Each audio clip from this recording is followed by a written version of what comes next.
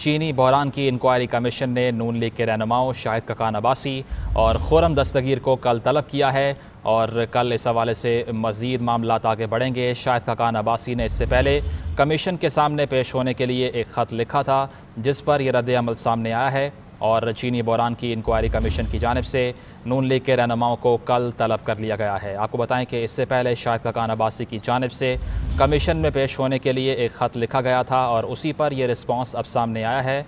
चीनी बहरान की inquiry commission ने नून लीग के रहनुमा शाहिद ककान अबासी और खुरम दस्तगीर को कल तलब किया है। इस हवाले से जानेंगे आसिया कौसर से। आसिया, क्या मालूम है आपके पास?